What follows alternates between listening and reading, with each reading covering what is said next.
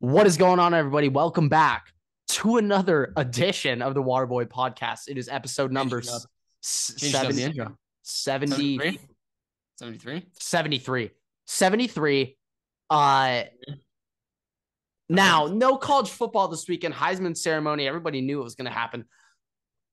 But let's just say it was a, quite a weekend of the NFL for one of us and not quite a weekend for the other. Uh, I I'm kind of happy that today's gonna be an NFL pod. Today's an NFL episode. Okay, uh, we'll, we'll start off with college football. I think though, unless you don't want to, but we'll get over it quickly.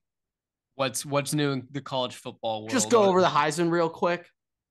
Okay. Yeah. quick little reaction to the Heisman. So, okay, we'll start off with some college football. So, um, like we kind of expected, Caleb Williams wins the Heisman. Uh, Yep. not not a big surprise. We all kind of Nope. saw it coming. Uh, my big reaction here is Lincoln Riley right now has now coached three Heisman Trophy winners in six seasons as a college football head coach. That's a pretty solid recruiting pitch, if you ask me.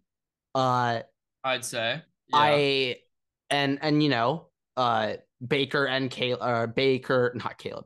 Baker and Kyler both went number 1. Caleb I a lot of people are saying uh a lot of reports are coming out that NFL GMs if Caleb Williams was draft eligible, he'd go number 1 this I year. don't think I don't think that that's far fetched. I've seen a lot of comparisons. I don't think that's crazy about- to say there. I think I think Caleb Williams is the best player in college football. People people are comparing him as quarterback, to. Mahomes. So now I'm not sure if anyone can quite be compared to Mahomes. I don't think that's fair. I, I don't think that's compare fair, but anyone if, to him. If you're getting a if you're getting but if you're even yeah, no, it's Patrick Mahomes, including like draft experts, I don't really know what.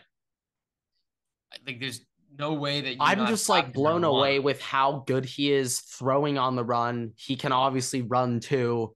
He has a great arm. Like he arguably seems better throwing on the run than in a pocket. Seems a little weird, which could be a problem. But like. Caleb, I I like I think to myself, if Caleb was on Ohio State, they'd be able to do some dirty things. They'd be able to do some more things on their offense, in my opinion. Well, I mean, they'd be able to run similar to what they did with Justin Fields. Exactly. Uh, but then again, then I look back to Justin Fields, and the second Fields got hurt once, they literally never ran him again. So I don't know. If But could you imagine if Justin Fields was the quarterback on the current Ohio State team? If he was the quarterback in the Ohio State team last year, Well, I mean, it, it, it it'd be it's fun to think. Like I, I kind of saw it in 2019, like that. Like they didn't quite have the receiver corps. Eh, actually, yeah, I kind of get what you mean.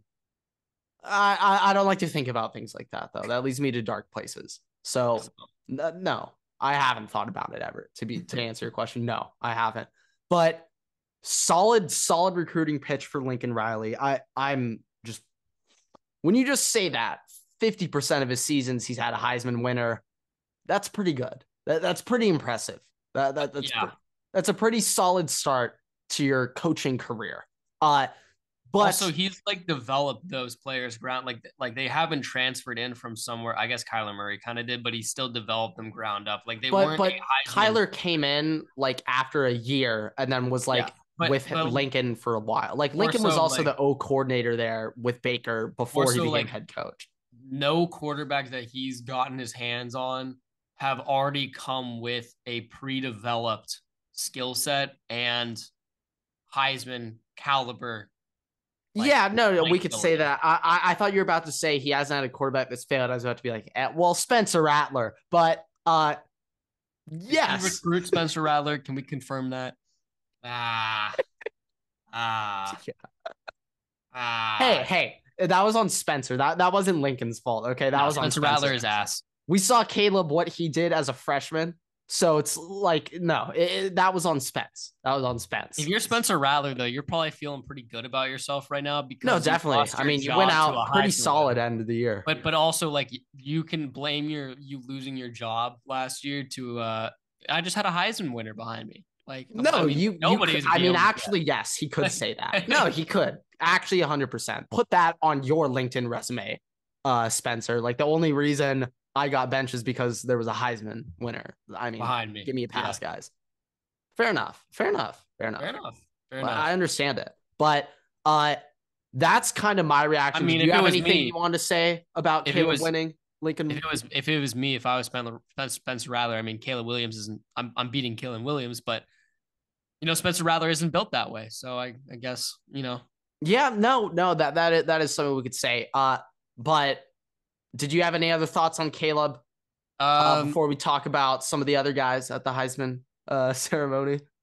I was I was hoping that he was gonna gonna, you know, make some some forward looks to the Cotton Bowl. Maybe maybe give us some some energy to feed off of. going I, I'm gonna be honest. I thought but- Caleb Williams he had a prime opportunity throughout the end of the season where instead of putting like F Utah on his nails, um, he should have used his nails for NI, uh, NIL deals and NIL deals? sponsorships. He That's was he wasting an do. opportunity right there. When he was up on the Heisman stage, he should have had like Geico or uh like like like Beats by Dre on his uh fingernails. I just think that's a just an easy NIL brand that he just threw away. Um Caleb Williams. let's let's be a little smarter here, man. Let, let's be a little Williams smarter. should, let's think uh, about the money. Come on, dude.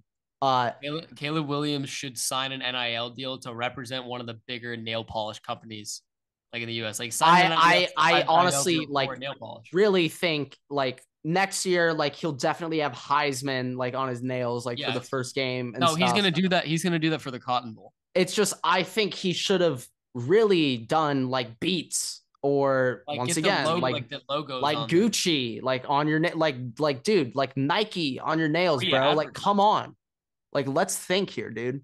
Come on. That's a good clip, though. You should clip that for. uh I mean, I I honestly just think like that was an obvious. Like the first time I saw the nails went viral, I'm like, oh, he's gonna use this for NIL, and he didn't. I'm not gonna lie. I. I, I had not thought about that being a possibility. Using Caleb Williams painting. I mean, look at the NIL screen time his representing nails get now. Like literally, his nails get more screen time than if he put like NIL stuff on his turf. Like I thought that'd be another thing. Like if you wear eye tape, why would you not just write like your NIL company on it? That's easy marketing.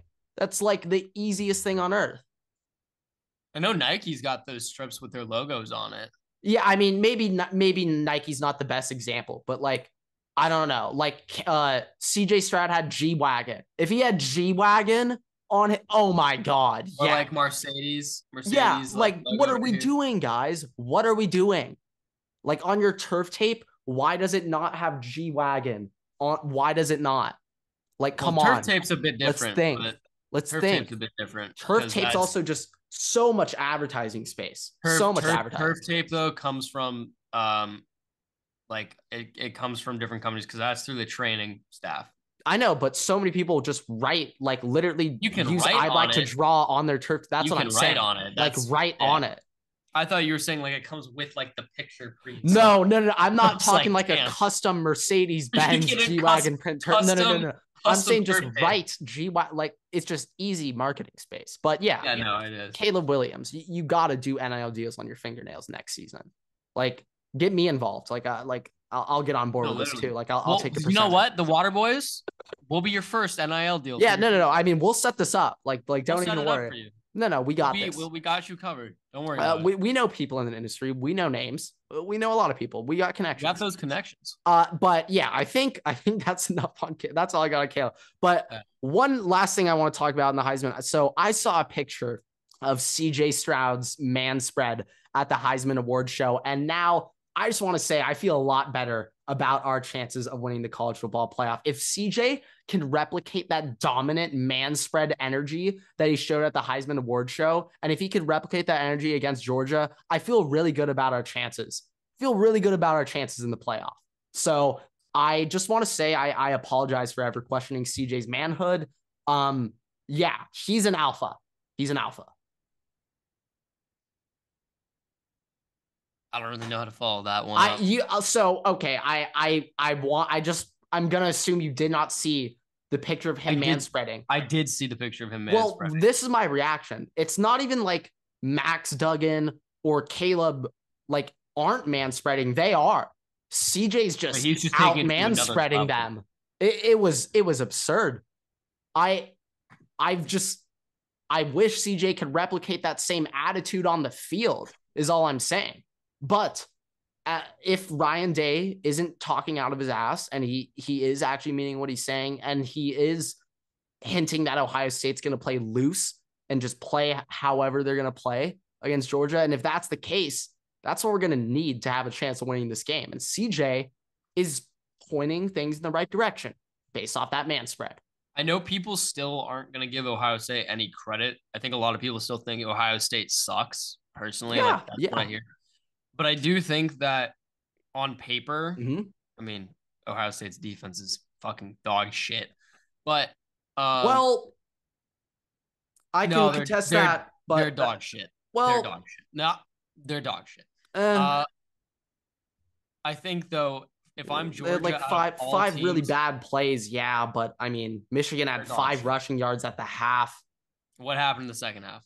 No, no, I know. I I do think though. Okay, it's, so it's mental so errors, my- it's mental point- mistakes that could be fixed, but I don't think they're going to be fixed. My my point being is, if I'm Georgia, I'm, between I'm the just saying, I, if I if I'm attacked the Vikings, you, you I'd give you your time to defend. So I was going to defend my. oh, if you want to attack the Vikings defense, I, I'm I'm attacking it right this you. week you will, but last week you weren't. No, I still would last week. I Anyways, we can go back and watch the tape, but go on. Um, I don't think we talked. But uh, if I'm Georgia and I'm looking at the teams that I could have been playing at the four seed, so let's say between Ohio State, uh, USC, could say Bama, but I'm just gonna say Ohio State and USC. Or TCU. Yeah, I guess like if they could pick a team in that four spot to play.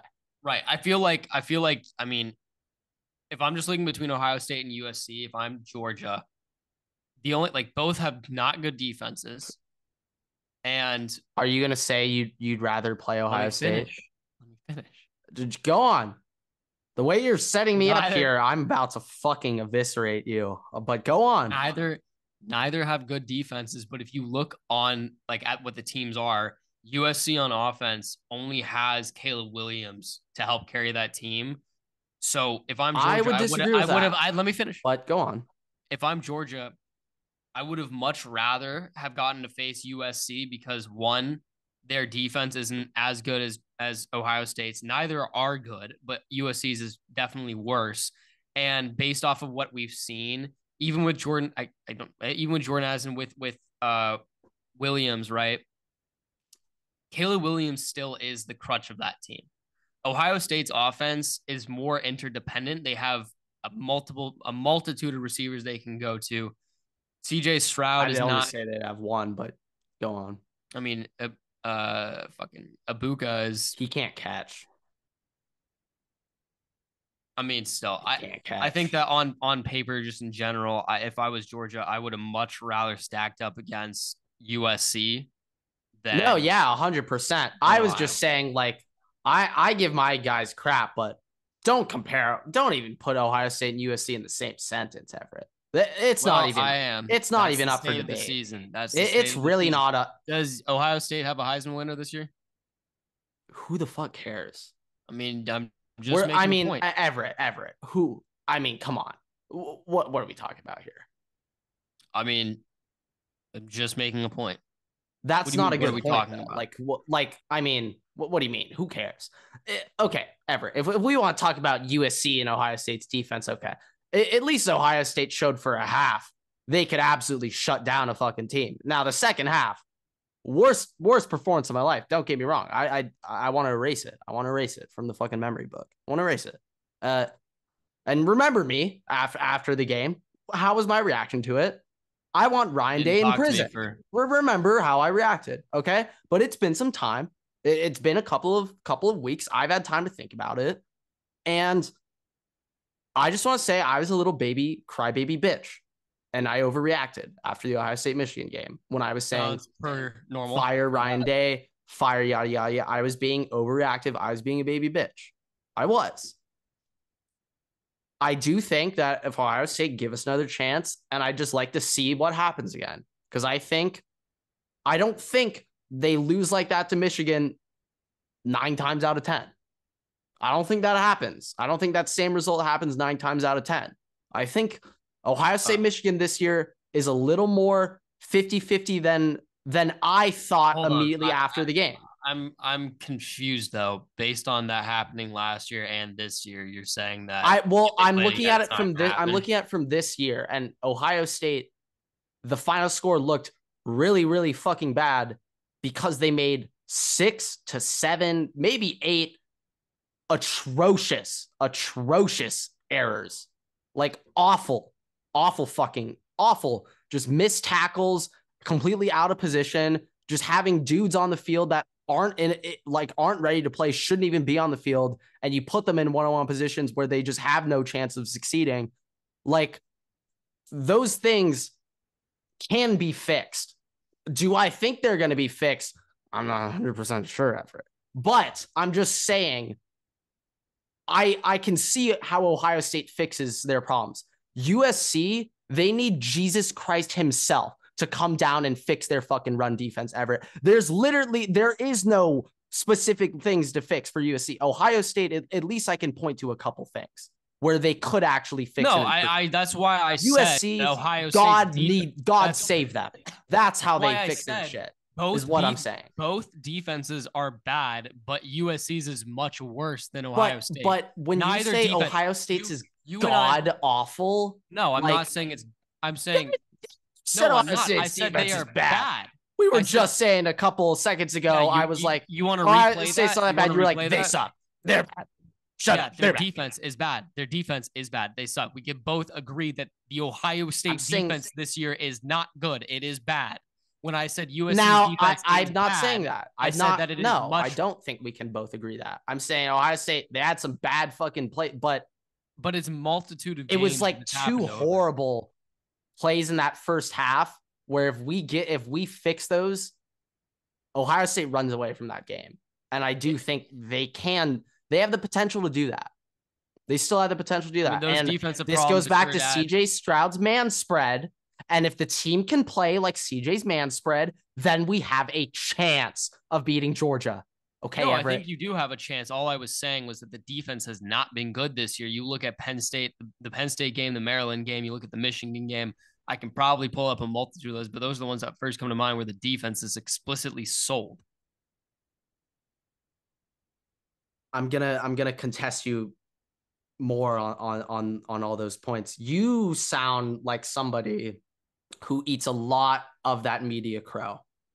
I mean, considering the only format of, I of you know what? I'll be honest. I like this is the thing. I the I have because I for work. the past couple weeks I've been trying to be pretty I've been very negative on Ohio State. But I'm a little fed up now, okay? Now now fucking my teams. I don't give a fuck about you being dis No, no, no. Now now you're disrespecting my team, okay? And I didn't think it'd have to come to this. Yeah, fuck it. I'm ready to Ohio State's winning the national championship this year. I'm I am so fucking excited to see. Now this is this is what I need. It's about time. Now I'm finally on board. Now I feel disrespected. It, it- it's about fucking time. It's been a while, and I needed you to disrespect. Yeah, that was it. Ever. I needed you to jump on Team Ohio State sucks cock. Now I can finally be on it. Now you keep the same energy until this bowl game. I swear to God, if you even give Ohio State an ounce of respect over the next three weeks, I'm gonna attack you because you hate them. I mean, the only you just made that the clear. only thing that the only Ohio thing that I State's going to win the national championship this year. The last time Ohio State was disrespected by the national media like this, people were saying that TCU or Baylor should have made the playoff over them in 2014, which is the most fucking absurd, preposterous statement that has ever been made in the history of sports.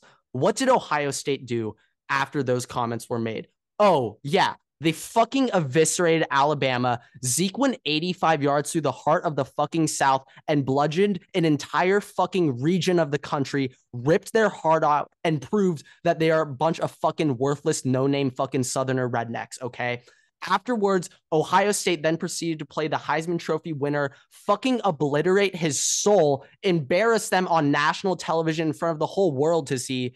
Crop top Zeke put up, I think, eight touchdowns and 800 yards over his last three games of the year and proved why Ohio State's the best fucking team in the country. So that's what happened last time, and it's going to happen again. And I can't wait to fucking see it. If it doesn't happen, well, it is going to happen. I'm not even putting that consideration in my head. I don't even know why I said if. I'm going to say when, uh, and it's going to be great. So the Right then. transfer portal, Grayson McCall has entered the transfer portal. Coastal Carolina quarterback, very impressive numbers over his career. Everett, what are your thoughts? Um, you have a lot of opinions on the group of five teams. Grayson McCall's uh, Coastal Carolina is a team that you've been mentioning this year. What are your thoughts on this? I think that he, well, one is going to be, we discussed this before uh, we started recording, uh, and I think we both agreed that he's probably going to be the most sought after quarterback in the portal uh, this year, at least as of right now. I, I, I, I actually think that for a second I was like kind of rechecking myself, but now on second thought, yeah, I, I would take I him over Hudson think, Card and DJ and Devin Leary. I honestly do think that I could see him going to Wisconsin with Luke Fickell. Okay, this is also another thing that I, I just want to point out about Wisconsin, Luke Fickell. I'm like a little bit worried about the state of the Big Ten coming up pretty soon here. Like, if Deion went to Nebraska, holy shit, that would have been very scary. Like, that's actually a big thank God Deion Sanders is in the Pac 12. Like, oh my God, that could have been bad. Uh, the shit, the steam that he's picking up right now, Deion, is, is unreal. Uh, but I'm not against that. I think Wisconsin, like Urban Meyer would always say, Wisconsin always has a good running team. The great Wisconsin's team, great Wisconsin teams can also pass. And mm-hmm. I think Luke Fickell, that's kind of his goal here get a passing offense, get get some type of attack in the passing game. And if you can go after Grayson McCall, go after him. If you're Luke Fickell, literally anyone, Devin Leary, I don't care. Just anyone's better than Graham Mertz. You, you just need something. Literally, and literally anybody. Our boy Marshall House, uh, I think currently the backup quarterback at Wisconsin. He can even do a better job than Graham Mertz. Just get somebody, okay? And yes, I, that Marshall. I think House. I think yeah. I could also I don't know what DTR state is for eligibility. I could see him going to There's UCLA. no way he can come back. I think no I, I, I could see Grayson McCall going to UCLA. Uh, I could also see him ending up at one of the Florida schools as well. But I, I think I think that the most likely outcome is going to be Wisconsin. I say Grayson McCall hey, is going to be Badger, cheese head for Grayson McCall that could be interesting. We'll we'll see how that lands out.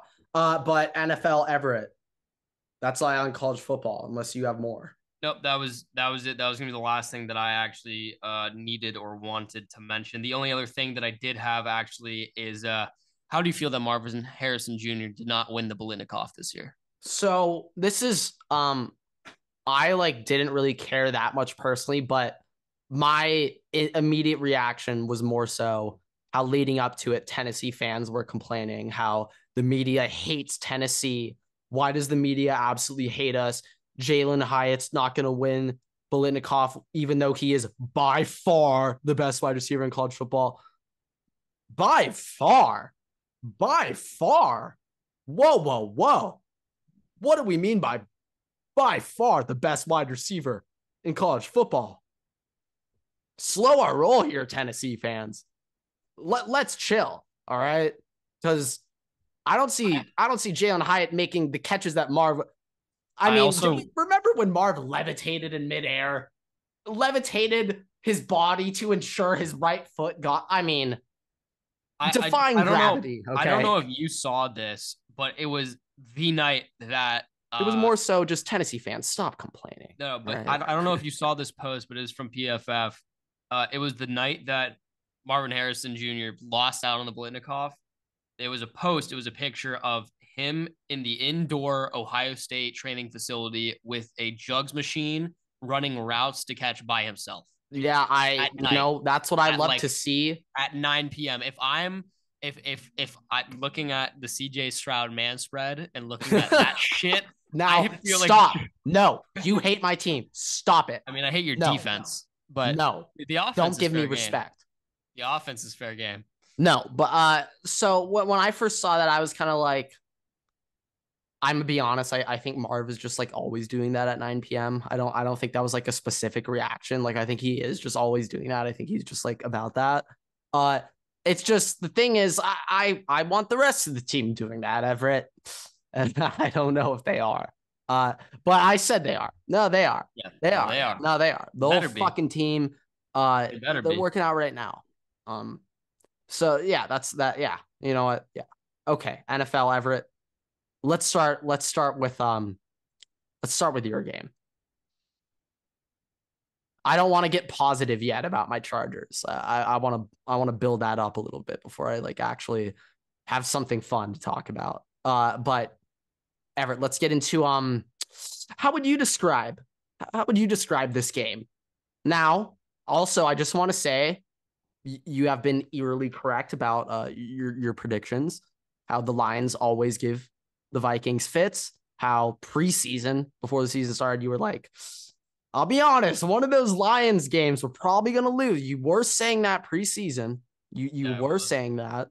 Um, I So, was yeah, the Lions were going to be the second best team in the NF uh, in the NFC North, if you remember as well. Uh, I I do not eh, remember that exact claim off the top of my head, but for the sake of Run this, yeah, yeah, back. exactly. I did Whatever say that. We do have we do have footage of that. What are your thoughts on the uh the Minnesota Vikings performance? Have you ever heard of a team losing when their quarterback throws for over 400 yards and two touchdowns and their wide receiver drops almost 250 receiving yards? Have you ever heard of a team losing a game when that happens? Yeah, Ohio State versus Michigan last year. In the NFL. No. Week um no, not the quarterback. Receiver, yeah, but not the quarterback, no. Yeah, I was so gonna say uh, Davante Adams had like 280 on us week one, but we still won. But yes. Kirk Cousins threw for 400 yards, a pass rating of 126.5, two touchdowns, no interceptions, and was constantly under duress the entire game. And he went 11 and 13 under pressure. That includes getting hit while throwing. He completed over 75% of his passes, and he is the first quarterback in four years to lose while achieving those numbers. I don't even know what the mark on Justin Jefferson hitting 250 yards and losing is because I feel like that hasn't happened. And if it does, it hasn't happened. I, I, I, don't I'm not sure. So the Vikings, in comparison, let up 464 total yards versus the Lions uh, on Sunday. It is the fifth straight time that the Vikings have allowed 400 plus yards, which is the longest streak in NFL history, uh, in franchise history. Sorry, and uh, now after those last five games, the Vikings now rank 20, sorry, 32nd in NFL defense. I just, I, I, I don't understand why no adjustments get made. Like, it, it almost seemed like nobody was watching film, how bad it was. Like, the, I mean, JMO got his first touchdown. I mean, honestly, whenever a wide receiver, if it's a first round wide receivers going for their for their inaugural debut, if it's against the Vikings, hammer that anytime touchdown because it's gonna happen. So I just I don't understand how you get turned around literally on like the first play that this kid has ever had in the NFL. How you just get blasted. I mean, he's he's It's the first he's very he's ever had. fast. He's very fast. I mean, yeah, but but you would assume that if you're an NFL no one was player, even in the vicinity of him though. like, Oh no, no. You know, you know what happens uh, on that catch? it's like our they corner- just forgot he was on the field. No, no, no. Our our, our corner uh, one got toasted, and then our safety, Did our not. safety who was playing uh, Wait, quarters. JMO like dusted him off the line. Yeah, our safeties were playing. Wow. we were playing quarters. We were playing quarters. We had three safeties back playing quarters, and our main safety Bynum stared down JMO, and then JMO cut behind him, and then just he just Bynum just decided to go play another another dude. Just completely. I, heard the JMO player only got like four snaps in the game though. Yeah, he got that one, and then after that, he, he I think they're still, I think they're putting him on load management, to be honest. But just the defenses have been absolutely horrible, and I, I'm now happy that Lewis Cine is coming back, and I'm happy we drafted him because Cam Bynum has put on a horrific display this year. There's been some times where I've thought he's been very good, and he's gotten a couple picks, everything, but overall, just placement of himself on the defense for plays, he's let up he's just gotten absolutely waxed by wide receivers so many times this season. He's let up so many points. It's just absolutely horrendous. Don't get me started on Danielle Hunter and Za'Darius Smith each only having one sack over the last six games. The Vikings didn't get any sacks yesterday. Uh, yeah, yesterday, or any interception, any turnovers, nothing. Their special teams coverage got torched on a fake punt. Uh, also, the defense, uh, yeah. you know, the defense led up a game sealing first down on third and long to a left tackle. a left tackle. Penei Sewell. Sorry, I guess he, I think he's a right tackle, but who the fuck cares? I, who the just, fuck? It was a lineman. It's just all right. It doesn't matter. It doesn't matter. A lineman shouldn't be sealing the fucking game on third and long. It was an eight yard reception. Yeah, like, I mean, just, what are we doing, guys? I think that I think that Qu- Kwesi, our, our GM this offseason, regardless of what happens, even if we win the Super Bowl, I think that that defense is going to get totally. I think love that, that you have hope though. I think Holy it's going to get totally, totally restructured. But I, I'm going to be honest. If this defense is this same way, if if Matt Ryan puts up 300 yards on us next week, I don't care if we have the first seed, or the second seed, or the sixth seed. We're getting waxed the first playoff game that we have because even if we put up 50 points on offense, the defense is going to allow 65. So it's just yeah. that bad. And and and also on offense, like one, why are we running the ball constantly when we're getting 0.4 yards per carry? Dalvin Cook at halftime, 14 carries for six yards. The the interior O line was absolutely horrendous. Kirk was getting hit on every single drop back. Dalvin Cook was getting hit at the line and gain. Also, I understand I like the play call when when we were whatever second and goal and they were trying to do a jump pass with Dalvin Cook to our tight end. But if the offensive line is imploding the way it has all game versus, by the way, the 28th ranked defense in the NFL, 28th, you're getting waxed and put on your ass. Why are we why are we why are we calling a jump pass? Like if people are gonna surround you like that, like they did that play, Dalvin should be on the fucking ground. Like just drop on the ground, call to play. I'd rather get points out of it than try to get something and get hit by. I mean, the player doesn't. He Dalvin doesn't throw the ball. He's never thrown the ball before. So I don't know why we're trying to do like just get on the ground. Yeah, and I mean, also him yeah, fumbling there, the greatest him, him fumbling there, him fumbling there. Obviously, the Lions weren't able to capitalize on the points for that because they missed the field goal. But if the, if he hadn't fumbled there, the Vikings score, we have a tie game. We have yeah. a tie game eh, eh, going into into the end of that game, and the Vikings are now marching down with a chance to win the game rather than having to kick an onside kick. And don't even get me started on the fucking refs back back to the refs with you, Everett. Uh, well, well mean, apparently, the, like I said, I, I tweeted, love the refs I, I, tweeted, in my I game. tweeted this out. I tweeted I fucking this out. love I think, the refs. But... I think the refs have a group chat where they challenge each other every week to see who can make the worst calls against the Vikings per week, and whoever can get away with it, whoever can get away with the more egregious call wins like a pot at the end of the year. I mean, shit, dude. We we we had a ref run into our defender who was playing the ball and gave up a touchdown because the, the ref hit our defender like as if he was playing for the offense. Uh, we also now learned, uh, according to this last game, um, that for a catch to count, uh, to be spotted, apparently, even if you have possession of the ball, your player needs to be touched by a defender. Even if even if you're running 50 yards down the field, apparently is not a is not a catch if uh if you don't touch get touched by a defender. So I don't know if we're just making shit up on the spot uh, I also guess that uh, you're considered out of bounds when uh, your foot's still on the green grass, uh, even if it doesn't touch the white line. If it's next to it, if it's anywhere near it, uh, it's out of bounds. Learned that one too. Yeah, that was a questionable call uh, for for Justin. The the refs have been amazing. They've been phenomenal. I, I know you've had your qu- quite your run-ins with them. Phenomenal for one person. Uh, it still isn't even you. No, no, no. I, I mean, I was, I was being sarcastic there. They, they, it's, it's, it's very funny at this point. It, they, oh, like, they definitely seem like they're challenging themselves. They're literally just trying to see how far they can take it before they get fired, like before they get like in serious trouble. Yeah, at, at this point, it's, it's almost um almost comical how, how horrible it, it, it is looking. But ever, ever, what are you thinking down the stretch? What the Vikings need to do here to like, like how can, can they what can they do Look, to fix I- the D? Is there something they can do? Uh, do they need Jesus as well, like the USC Trojans on defense? How, how do how do they fix their uh, defensive problems? Well, I'll start with the offense, then I'll, I'll work my way there because there's that's the longest list.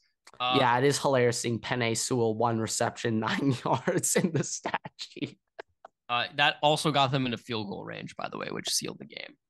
Um, yeah. So with the offense, if Kirk is playing the way that he played this last week, if we get to see what just happened again, like if that's the way the offense is operating, at least with Justin Jefferson and Kirk Cousins, I'm very happy with that. Kirk Cousins put up a 91.5 overall PFF rating, which is his highest mark since 2019. Um, so and and having Kirk be able to throw under pressure, I think is is actually something that that's kind of desperately needed. Justin Jefferson, if he can keep doing that, keep up the pace with that, one, he'll break the NFL record for uh, most receiving yards in the year, but two, obviously they'll put this offense over the top. The big thing now is one, keep utilizing Justin Jefferson the way that they have. They've been playing out of the backfield and, and putting him in the slot and stuff, just working him around. You need to be able to seal off the edges a lot more. Brian O'Neill couldn't fucking do it. He's been asked this year. Darrisaw needs to come back because that left tackle spot. One are backups now in the IR with a torn MCL. Two, they were dog shit. They've been dog shit without him. The interior's been ass. I don't know how it was able to get worse without Bradbury there because I nobody thought that Bradbury's been good. It hasn't been good, but nobody thought it could be worse than than what it was, and clearly it, it can be. Uh, so he might have worked his way into a contract extension, but but get better, get upfield. Don't get put on your ass Ed Ingram. Um, use more play action too. You need to utilize play action. And also, Jalen Reagor was not targeted or used once this game. I guess he was targeted on like a hail mary, but that doesn't count. Um, special teams coverage needs to be drastically better. We've been good punting. Like Ryan Wright's done a great job, probably the best punter in the NFL. But your coverage has gotten fooled multiple times by fakes. That shouldn't be happening. If it happens at all, it should happen one time this season, and that's probably against the worst team that you're going to play because it needs something desperately. That's some bullshit. What are we doing? And then with the defense. Oh, the defense. If if I had a choice, I'd let a 12 year old call plays off of Madden to control our defense. Are you like so okay? Uh wow. Over the over the past couple weeks, you've given up 30 points, 40 points, 26 points, 22 points, 34 points.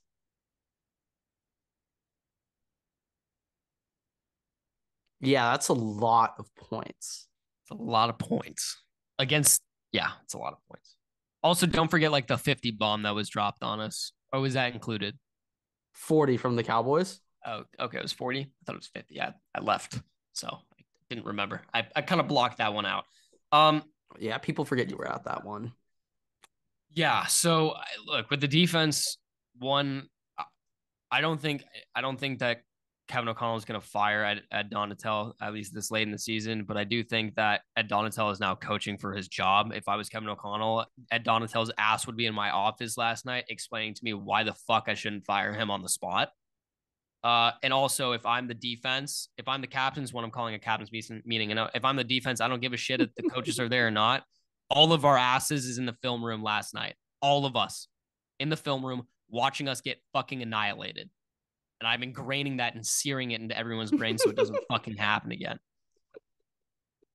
But like one NFL coach Everett. Uh, I mean, look, I mean, one, one, great one job turning around the Tulane team from last year. You got those boys in the film room. Look what happened this season.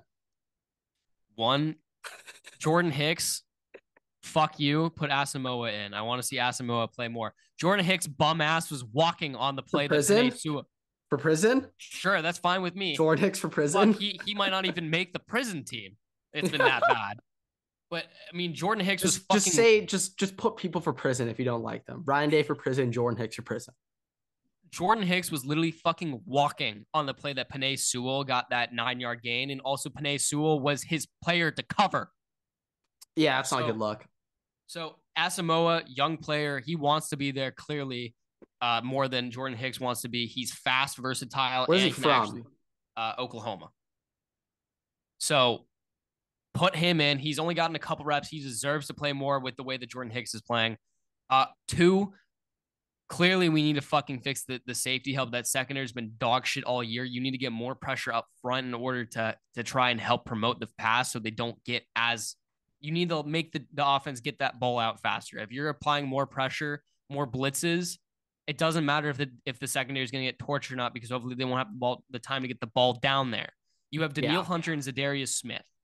That alone should be enough to promote enough pass rush, but you're dropping them back into fucking coverage. Yeah, I saw saw saw a couple of clips of like Za'Darius dropping back on third down. Like, what the what fuck the you fuck? doing, bro? Like I, I don't think Khalil Mack dropping back in coverage on third no, down. Joey I, Bosa, I think so. Joey Bosa doing that? Definitely. Well, he's not on the field, but if he was, he wouldn't be. He wouldn't be Nick, if he was Nick playing. Bosa doing that? Hell no. He doesn't even know what dropping back is. Micah Parsons. I actually think the Cowboys are stupid enough to do that to him sometimes.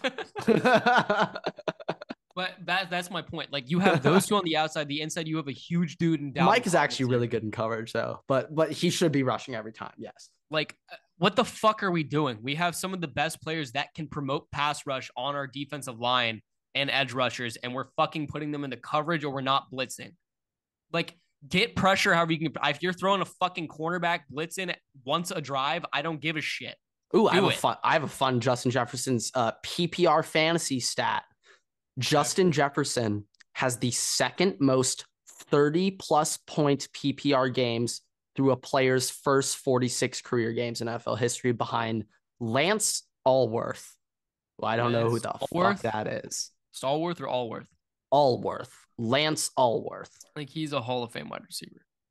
Uh yeah, but Justin Jefferson has nine 30 plus point PPR games. Also, just want to note, by the way, um, so the record is 1,966 receiving yards by Calvin Johnson, I believe, in a season.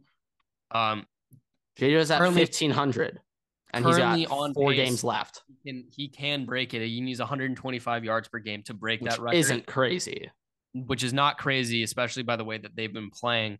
Also to note, um, he currently has 46 games played with I believe 4,000, like 500 yards, something like that. He's 132 yards away from breaking, um, I believe, Stefon Diggs' record for receiving yards in Vikings history. Uh, also to know. Really? Mm-hmm. Like Cris Carter isn't even Cris Carter's number one. Cris Carter's number oh, one. Oh, oh, oh, He's had a hundred. I think Cris Carter played 128 games and he had. Like oh, oh. You, Stefon isn't number one on the. Okay. But but yeah. just think about this: 46 games played. Yeah, four thousand six hundred yards in forty six games. Yeah, no, he's averaging 115 yards a game and, this season. And the record for Vikings history is 128 games, and it's only like 8,000 more. Yeah, no, it, he he is he's very good at football, Everett. I don't know if I've ever heard of that. No, we're now debating him like literally like he's being compared to like Randy Moss in his first three seasons. Like he and he's deserved it, obviously. If so. he keeps pace though, he might end up being the greatest wide receiver of all time, statistically. That includes Jerry Rice, and I'm stating that right now. I I mean, you all Randy Randy Moss, Justin Jefferson, ever. We'll we'll we'll we'll see. We'll we need only time will tell. You know, only time will tell. But yeah, the Vikings give him a fucking percent of the team, please. Get that done. Make him a partial done. owner. Make him a partial owner. Let's get it done. Okay. Uh, can I? Can I? Yeah, you got it. Time to talk about some bolts. Some bolts. Time to talk about some playoff bolts. Whoa. Did, now, Everett. Uh, a couple weeks ago, I was saying there's no better, no better feeling than seeing your team in the in the hunt graphic uh yeah. on Thanksgiving weekend. Oh, I was wrong. There is a better feeling. That's seeing your team in the wild card graphic past the in the hunt graphic on December first weekend of December, Everett. That's way more exciting. Um, I, I, saw some numbers saying that the Chargers have like a 74% chance of making the playoffs, Everett. Um, let's just start off with this. Um, anyone with a brain already knew this, but um, it, it's nice to know that after last night, the argument is officially put to rest. Uh, Herbert is head and shoulders ahead of Tua. It's not even up for debate. The fact that Dolphins fans even had even the slightest portion of people convinced that Tua might be better. It was was absurd on its own. Uh, Emmanuel Acho, uh, go fuck yourself. Uh, I, I hope everybody in the media that e- even even said to his name in the same sentence as Justin Herbert um, took took a took a nice look in the mirror this morning when they woke uh, woke up and said, "I am an idiot sandwich," like that one Gordon Ramsay clip. I, I, I hope they all I, said I do want to say, I do want to, I do want to say, we're not saying that Tua is a terrible. I'm not saying saying Tua's bad, but it's but we're to saying say that he was better than Herbert better. is idiotic. If Idiotic. Herbert, if Herbert, if we're not, no, we're not saying Tua's bad, but if I'm not saying was on bad. Dolphins, but if Herbert was on the Dolphins, Yeah, I mean, if if Herbert had a receiver that could run a sub four five, wow, you could actually see him throw deep. It'd be crazy. Like, trust me, when you see Justin Herbert throw deep, like he actually hits the receiver, unlike Tua. this like, could be a it- it's good clip, crazy, guys. It's This could crazy. good- This could be a good clip, by the way. I don't think that Keenan Allen is going to be on the Chargers roster after this season. Yeah, I'm gonna be honest with with, with Keenan. It's he's a great safety valve, like safety blanket. Um, I just want Justin Herbert to have someone who, who can like dust some dudes, maybe I just- torch a guy. Like I want some speed out there. Keenan like yes, Mike Williams is great. Mike Williams is phenomenal. Keenan, Keenan is Allen great. is Keenan Allen's just always injured and he's getting older and he's got such a big contract on the books. Like it just makes no sense. It's the same way that I'm saying like it'd be great to keep him. It's the same way I'm saying like it'd be great to keep Dalvin, but it makes no sense. They're both probably going to be gone after this season. it's just not benefiting the team as much. And it's like, I Herbert has essentially been like keeping this team afloat with everyone hurt all season, Including And- himself. like actually by himself. His O line's so banged up. He has 0.5 seconds to. Th- okay, I mean, He also doesn't he have like two and a half seconds at max to He throw. also is, like literally is playing on one less rib. yeah, year. a- and, like there's no running game. Like he has to pass every play. It's like anyway, crazy that the Chargers are what- even in this position. uh, now. What do you think of this of this of this game versus the Dolphins? So okay. Uh first thing I just want to say, uh just quick no- look at the numbers. Tua 10 for 28, 145 yards and a touchdown, and 60 of those yards and that touchdown came off of Michael Davis tripping and falling over. This is what I want to say. This was the most impressive game I've seen by the Chargers defense by far all season. Okay. And they did it with no Derwin James, no Bryce Callahan, no Sebastian Joseph Day. Uh Sebastian Sebastian Sebastian Sebastian Joseph Day. Day. Holy fuck. And obviously Bosa's still out and shit. Uh and uh, like JC Jackson and shit, but I was shocked how good the secondary played, okay? This was like the first game I really remember the secondary really being physical and pressing at the line of this uh at the line of scrimmage all season. They've not really played physical all season to the to like as far as I can remember, but Michael Davis was just in Tyreek's face the whole game. Like in his face jamming him at the line. Tyreek finished the game four catches, 10 targets, okay? 81 yards and 60 of those yards came off one play. Okay. Uh, you you you you're missing one play though. I know the, the fumble recovery. I did not count that towards the Uh, yardage. how you feel? How do you feel about that play? I, I now if we lost the game, my my opinion would be way fucking different. I'm gonna say that for a second from now. Ever, I, I just want to finish this up on Tyreek. Take away Tyreek's 60 yard touchdown catch.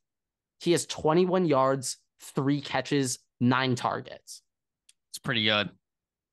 from Michael Davis. Do you know who Michael Davis is, Everett? He's your slot corner. No, he's like the fourth string corner who had to fill in. Now he's outside. Bryce Callahan is the slot, but he was out for this game. I don't even know who was playing nickel in the last game. I, I have no idea because literally, Well, I Uh, can tell you this. I wanna say know who was playing. I want to say Waddle's their slot. Waddle, guess what his stats on the day were, Everett? Two catches. Two catches. Uh, I'm pretty sure 33 yards on four targets. I could tell you. Waddle I, I- who?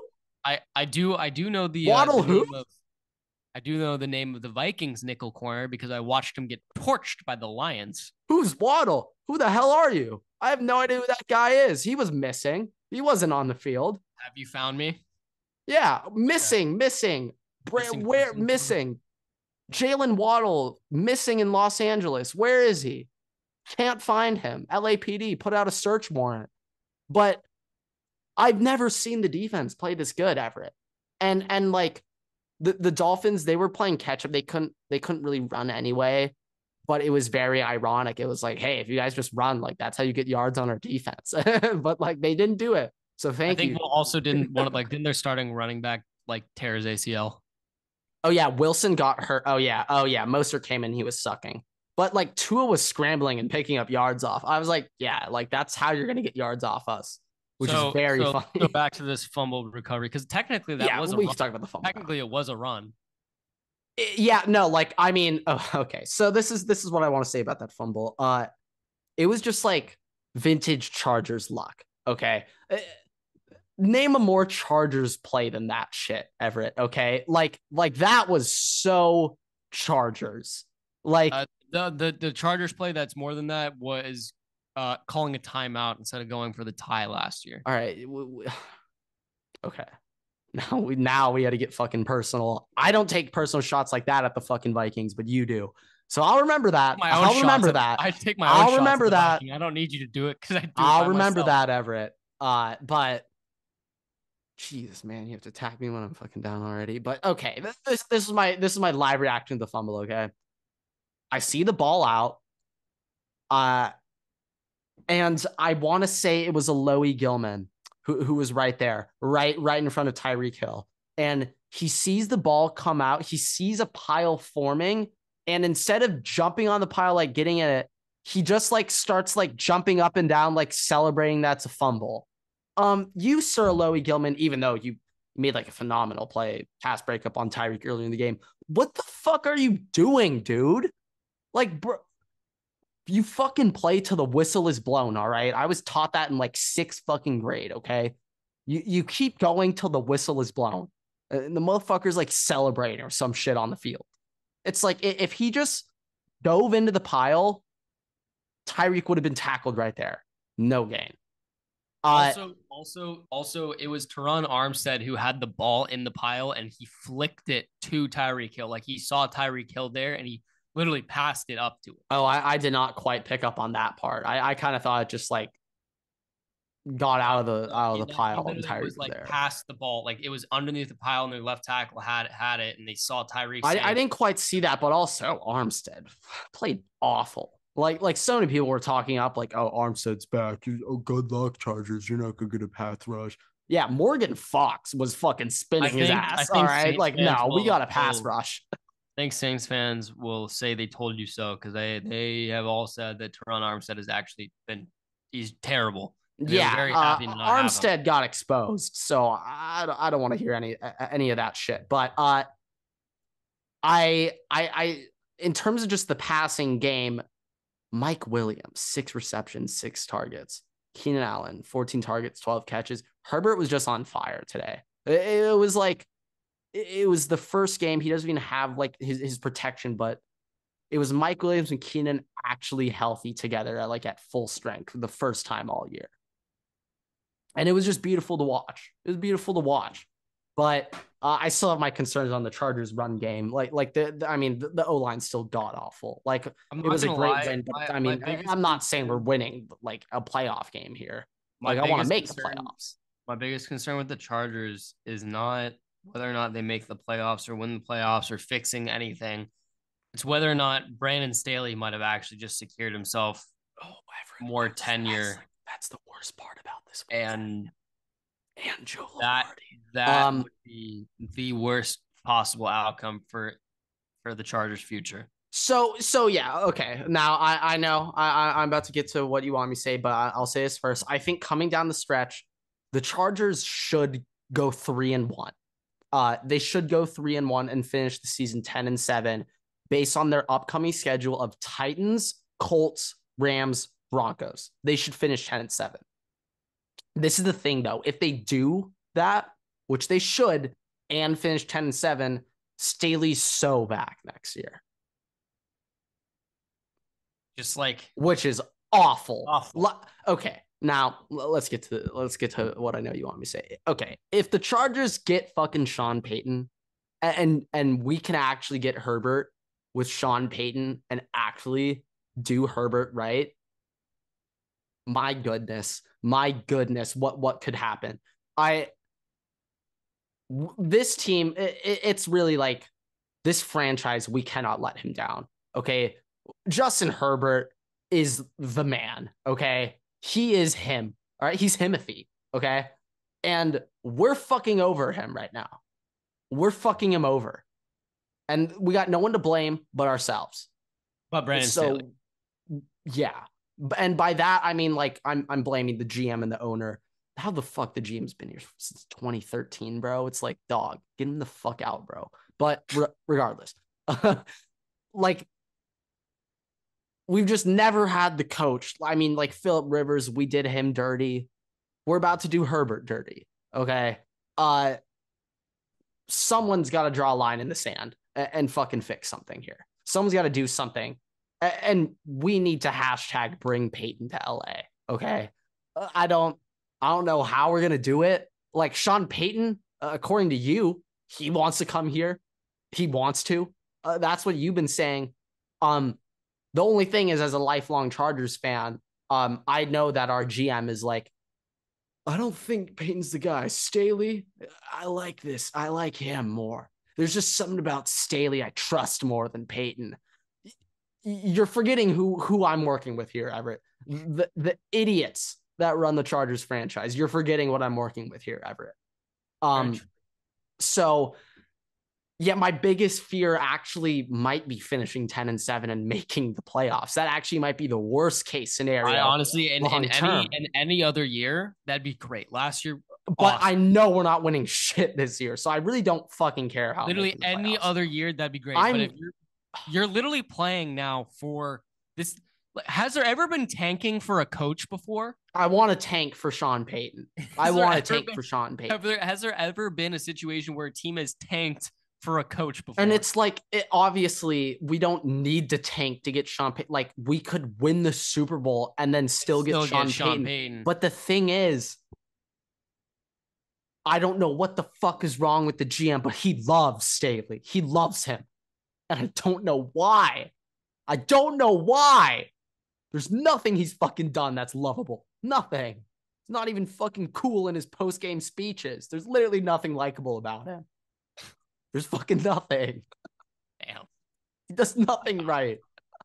Y'all need to just Sean the- Payton Everett. We're a Sean Payton away from like being a threat It's like here's the, the, thing. AFC. I know that I know that you guys just got Khalil Mack. Like that your GM has a very good draft record. Like I I know that. I know you guys have gotten big age like free agent signing stuff. I I think You need to wipe everything. I just don't think he need to go. does shit once the season begins. Like I think he believes he only works in the off season and he doesn't he doesn't make moves during the like the problem is Both when our stars get injured, he doesn't do shit to replace them in season. It's like he's on vacation right now. Bro, he you he replaces our guys with practice squatters. Like, what the fuck do you expect to happen? Like, I yeah, I, I I think that in order for your team to move forward, I think both Staley it's actually better management. I, I honestly I don't think I think that the Chargers can win a Super Bowl, but I do not think that it is possible with the coaching staff. They could do it with They could do it with It's the not players. Possible right now. they could do it with the players and can't do it with the coaching staff. well, I mean, with this training staff, also we can't do it because everyone's hurt. That's a it's a big thing.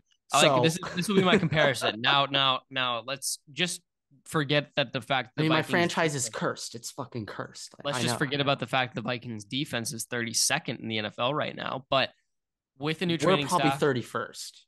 with it with the new training staff, We have the with- worst defenses. But this is what I'm saying with the new training staff and with a new coach, with a new GM, and basically the exact same team as last year. The Vikings are now 10 and 3 when last year they were sub 500 with the same team. You know, Everett. That's the type of shit that motivates me in the morning. You know, that that's what gets me up. That's what gets me up on a Monday. Uh, this is uh, this is yeah. I, you're giving me a lot of hope here. This is just the last thing I wanted to want to say going over uh, in reaction to that Dolphins Chargers game. Um, these are the top five quarterbacks in the NFL right now: uh, Patrick Mahomes, Josh Allen, Lamar Jackson, Joe Burrow, and Justin Herbert. If you were a GM, if you were a coach, you would drop anyone to have any of those five quarterbacks without question. If you want to build your franchise around five guys, those are the five guys. I, I'll be honest, I was very, I was considering like, um, could I, could I maybe give like Justin Fields a nod at this look? Like, oh. like, would oh. I give, would oh. I consider like Kyler in here? Like maybe like Jalen Hurts a nod? And you know, there, there's like a bunch of guys on that cusp. Like I'm still not completely out on Trevor Lawrence. Like I know we've been going back and forth on him. I still think T Law's T Law's good, but those are my top five. I, I, don't think that's that's up for debate. If you want to build your team around five, five quarterbacks, those are in the NFL. Those are them. Yeah, Everett. Let let let's hear it. These these are fun. Everett, give me your, or you you, you announce it.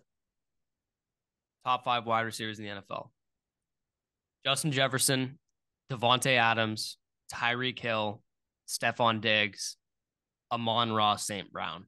Oh, Amon Ra. Oh shit. I thought you were gonna really spice things up and throw like a fucking uh just throw like Chris a, Olave in there. Yeah, Garrett. no, like go go throw young Garrett. or just really piss people off. Drake London, like I think Amon Ra is gonna do enough considering Kyle I just, Pitts. I just fucked over AJ Brown. So oh yeah. Well, I mean, there's Chase, no way you were gonna put an Eagles player on that if, list. If I mean, somebody's gonna be like, "Well, why the fuck is Ja'Marr Chase not there?" Actually, list? Everett, fuck it. Um, give me give me your power rankings. Give me your top five teams in the NFL right well, now. All right, hold on, hold on, hold on. No, off the top of that, top I gotta see. I gotta remember NFL. what teams are in the NFL, man. Just give me a second. Top five teams. This is your shit. I I do my college football rankings. You're giving me your NFL rankings. All right. This is you're under the heat for this you one, not gotta, me. You gotta you gotta just give me a second. I gotta look at the teams that are that are in the NFL. Dude, I mean, it, like if necessary, I can give you time time to think about this. We we can just ramble ramble for a second. But, no, no, no, no. But no, this is your gotta, new fucking weekly homework. You're giving me a top rankings. ten NFL ranking every week rankings. now. Okay, here are my power rankings. Five, right? Yeah, give me your top five. Eagles, Bills, Chiefs, 49ers, Cowboys. Top five teams in the NFL. I am impressed with you. I'm impressed. You didn't put your own team in there. That takes that takes a that takes a lot. Can't be can't be a top five team in the NFL if you let up 400 fucking yards five weeks in a row. So I I I respect that, but you got a lot of NFC teams in there, Everett. Yeah, I what, think um, it's a better division this year. Uh, has has your uh, um fear among NFC teams changed? Uh, who give me? I I obviously the three teams that you just listed are probably your most feared: Eagles, Niners, and Cowboys. Yes. Uh, it, well, it has over the past couple weeks, Deebo injury, but McCaffrey joining. Has your opinion on the Cowboys well, changed a little well, bit? What what Big Cock Brock, as uh, the 49ers like to call him, whacks the shit out of the Buccaneers. And the Buccaneers, I, I mean the Niners, bro. They don't. It doesn't matter who's playing. The Bucks. The Bucks aren't good. The, the Bucks aren't good this year, but their defense is still one of the better units in the NFL. If he can do that without Deebo for half the game, I don't think it really matters. It, Christian McCaffrey is going to be enough. Brandon Aiyuk is still a very good wide receiver. They have George Kittle. Their offensive line's great. Like I'm I think that it really doesn't matter. I really, I really don't. And I, Deebo will be back for the playoffs. It seems like if it's a high ankle sprain, so I don't. I'm not concerned about it. The Cowboys, on the other hand, it can't be worse than getting um, annihilated, like forty to three, the way we did. So they scare me about the same, if not kind of less now, because I feel like it's not. It just can't be can't occur a second time. Yeah, it, it's tough to do the same thing twice. It can't tough, be. We can lose we could lose, but we're not going to lose by that. not by that. like not by that. I hope. It's the we same hope. thing with the Eagles. It's the same thing with the Eagles. Jalen Hurts looked great. He looked great last week when he executed the Giants, right? But Vikings lost pretty hard to them. I don't think that if we lose, it's going to be by that amount. I think it's going to be more competitive unless our defense is as dog shit as it is currently. Um, I just think that the Eagles prolifically are the best team. They might have had the easiest schedule to play in, but if you look off records, uh, still taking shots though. if you look at record points scored, I can't not put them at one. It's not fair. There we go. There we go. They do have one of the easiest schedules in the NFL. That was very man of you. Schedule in the NFL. Uh, uh, Everett, I, I'm not sure if I asked this. Um, with your upcoming schedule, how do you think the Vikings are going to finish this season?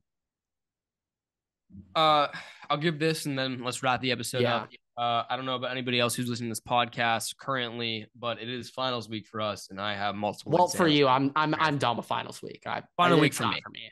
Final weeks for me. So, uh, look, the Vikings play the Colts, Giants. Uh, I think. Hey, you get Colts next week, then I get them the week after, so we can hit them with a little one-two punch. All right. I hope so. But Bang them up for me. All right. that's what she said. All right. Um. Hey, you went there, not me. So it was too easy. Um, that's what she said. But um, look, if we got if, we got chill on that. All right. The Vikings done, done with them. The Vikings, if the Vikings defense lets Matt Ryan throw for 300 or more yards, what are you gonna do? I mean, I'm not going to do anything but Kevin O'Connell, do, so I can't do shit. I can send an angrily worded email to the Vikings headquarters um, maybe tweet some angrily worded, strongly worded things targeted at Vikings Twitter. I, I but, just feel like usually when you start like a if something, I'm gonna, fu- you know, like, I'm gonna have an aneurysm. Yeah. So see, so you were gonna do something. I wasn't. I wasn't. I wasn't going to do something. Would have happened to me. That's what. yeah. okay. Yeah. I, I misspoke yeah, there. With yeah. a butt bump, just like you. But um, yeah, I mean the butt bump might if, be if going to my brain defense, right now. Might be infecting if, my thinking. So if the Vikings defense lets Matt Ryan throw for 300 fucking yards on them, just the whole thing's got to go. The whole thing, the whole thing's got to go. That's that's on the same level as when Alvin Kamara dropped six touchdowns on our head two years ago. Like eh, that's this past week was already inexcusable. If that happens, that's even more so. So and also fun little fact, you guys are playing on Saturday. You guys aren't playing on Sunday. Saturday versus Jeff Saturday. Oh, you get 10 a.m. Saturday ever. That's brutal. versus Jeff Saturday, by the way. Guy's name is Jeff Saturday. Playing oh, Saturday shit. on Saturday. Dude, they, they get a, a little, little, boost. Yeah, it might be a little bit of a problem. But also uh Kirk Cousins. Um I think that's gonna be a time that's it's gonna work well for him. He seems to do better earlier in the day. No, no, um, definitely. Um, I, I, it's like the least prime time, but I guess it's still prime time because it's happening on Saturday. Kind of sucks for yeah, but look, I I I think that I hope that they can pick up a win versus the Colts. Like now, here's the deal: it's really easy schedule to win out. If you win out, you keep the two seed. That's it's yeah. it's as easy as that. Win out and you get the two seed. You control your fate. Don't fuck it up. If the Vikings lose to the Colts, like the Giants, all right, I give a 50 50 on that game. The Giants can be very good, they can be very bad, like we saw last week. And I don't know if reality has set in for them or not because I really haven't watched them. The Bears also, I give a 50 50 on. It's in Soldier Field. If Justin Fields is back, if he's playing, if he's 100%, it could be very bad considering the way the defense is played. I think in all four of those games, the offense is going to put up a lot of points. They're going to do well. The problem is now going to be resting on the defense and the way that they pick up. The good thing is a lot of those teams are run focused teams. The Colts, the Giants, and the Bears all run focus, all run heavy. So you can try and play off a bit more because most of those teams don't have wide receivers to play. Bears and Giants don't have wide receiver. They don't have true wide receiver ones right now. Mooney's on IR. Giants haven't had any wide receivers to throw to this entire year. Their number one's Darius Slayton. Yeah. So I think that's better for, for the secondary. But if they still get waxed, then oh, wrap it up. I don't care what fucking seed we are in the playoffs. Everybody, fuck, get them out, get them out. Because like it doesn't matter. You're gonna get torched if you can't beat a third string wide receiver with your number one corner, with your number one player in your secondary. You have no ability to to win in a in a game versus a team that's gonna have one of the best wide receivers in the league, one of the best running backs in the league, etc. So we'll see. But I, I think that the, the Vikings could go 4 0 on the last stretch, but uh, I think that they're going to end up going 3 and 1 and they're going to drop one of those games. But I think they'll go 3 and 1, ending the season at 13 and 4. Yeah, so you're saying 13 4. I'm saying 10 and 7 for my Bolts, both finishing the year 3 and 1. We're probably going to be fucking completely incorrect. But that's that's what makes this sport fun, Everett. It's not fun unless you you put Fine, somebody will say line. that I have low IQ again or that uh I'm a college dropout or a high school dropout or something like that when they probably are working as a window washer. So I'm just saying when when people are gonna come call call out uh call us out on TikTok being losers, you've never played sport. Why why don't you put your face yeah, behind the account and stop hiding behind a fucking profile picture of, of the Alabama Crimson Tide uh, team logo? Why don't you show your fucking face online, fucking Garrett from Tuscaloosa, you 16 year old fat little fuck? Why don't you put your face right, on there? Okay. All right. We we we, we struck a chord with with Grant. Um, fuck you, Garrett.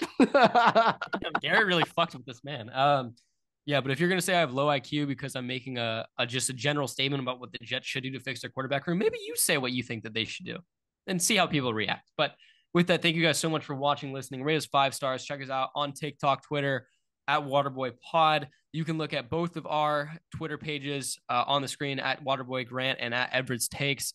Make sure to listen to us wherever you go. Spread the word of the Waterboy podcast with your family, friends. And with that, thank you all for listening, watching. Waterboy's out.